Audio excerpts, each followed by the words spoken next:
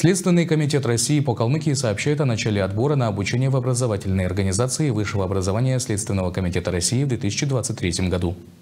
Целях подготовки кадров для замещения должностей в системе Следственного комитета Российской Федерации в региональном следственном управлении осуществляется отбор по очной форме обучения граждан Российской Федерации для поступления на обучение в Санкт-Петербургскую академию Следственного комитета Российской Федерации по специальности «Правовое обеспечение национальной безопасности», квалификация юрист, уголовно-правовая специализация, срок обучения 5 лет и по специальности «Психология служебной деятельности», специализация морально психологическое обеспечение служебной деятельности, квалификация психолог, срок обучения 5 лет.